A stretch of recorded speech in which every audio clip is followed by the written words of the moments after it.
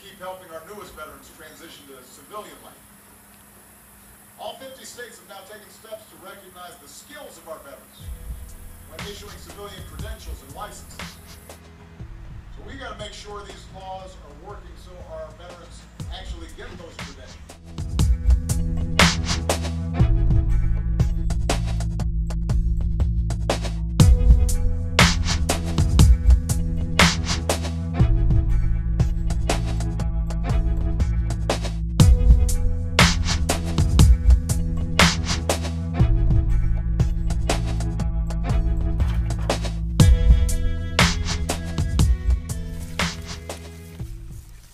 anything like this and about like this, maybe even a little bit smaller, but you want to leave about inch and a half to two inches. Don't cut the bottom off, Okay. because otherwise they the they bleed too much. And try not to pull out the little ones, because we'll, that'll be our second crop.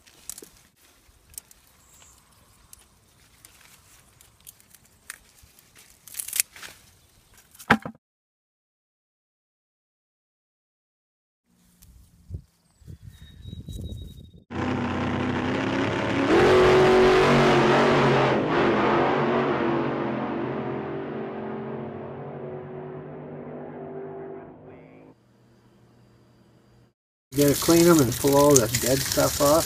Mhm. Yeah, and then we're gonna boil them till they get soft. You just leave the tips and the, the stalk on there. Yep, otherwise they bleed too much.